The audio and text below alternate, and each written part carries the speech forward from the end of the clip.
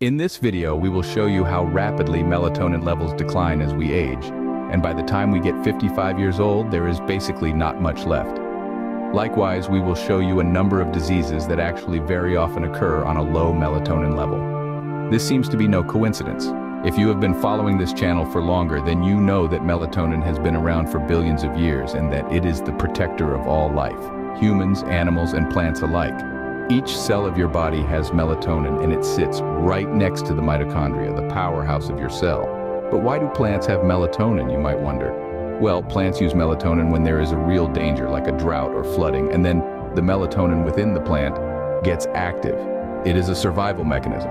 In this context, it is easy to understand that we, as humans, need melatonin very badly, especially when we get older and our levels decline naturally.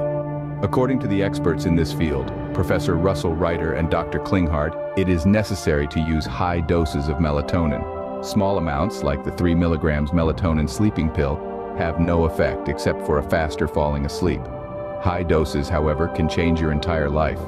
Don't worry, you will not get 150 years old, as some ridiculous slogan suggests.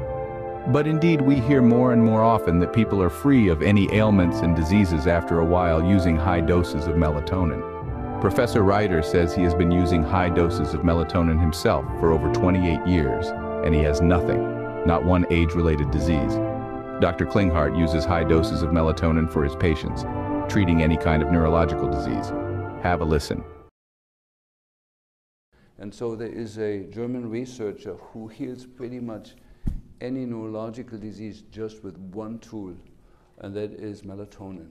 But this is not two or three milligrams. This is 1,000, 2,000, 3,000, up to 6,000 milligrams. But ALS, we give 6,000.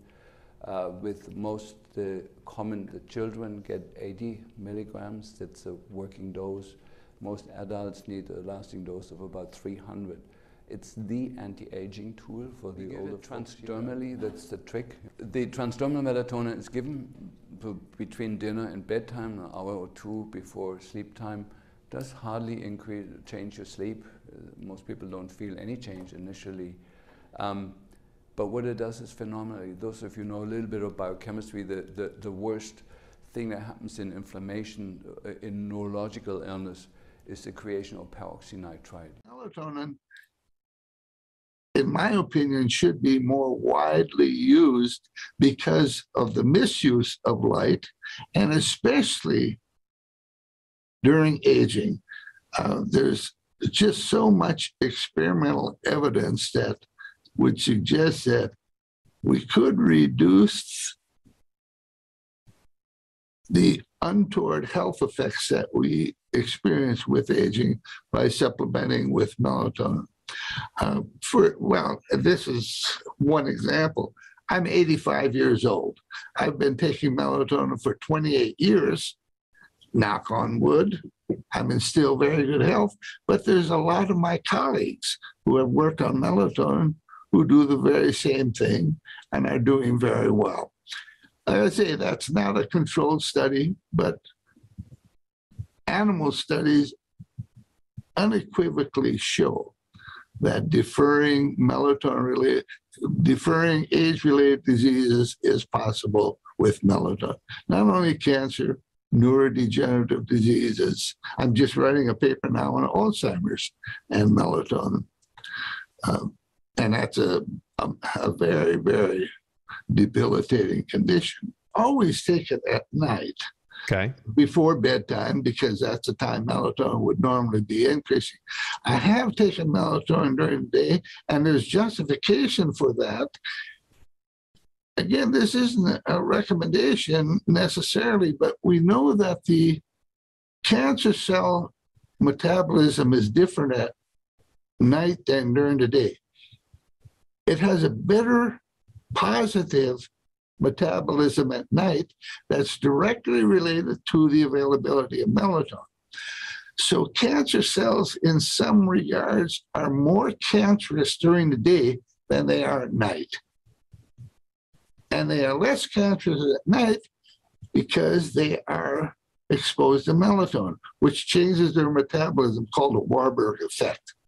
So in some cancer cases, it may be worthwhile to take melatonin during the day. Can you imagine that such a thing like hair loss comes very often along with low melatonin levels? Meaning, very often people who have hair loss, they tend to have also low melatonin levels. Exactly this is the case, as this doctor from Germany reports. His name is Dr. Hartner and he is just another expert on the subject of melatonin. He treats his patients with melatonin and says, that most of them have an urgent lack of melatonin. There is a widespread lack of melatonin as there is a widespread lack of vitamin D from the sun. Most of our pineal glands are no longer working. In the following we will show you some PubMed research papers, which demonstrate what influence low melatonin level have on the respective illness. Alzheimer's disease. There seems to be a clear correlation between Alzheimer's disease and a low level of melatonin. There are 694 research papers on that topic alone. Melatonin and cancer. There are many published studies on that. We get 3,190 results and even the NIH confirms, that melatonin is a very promising molecule for various kinds of cancer when it comes to treatment as well as for protection.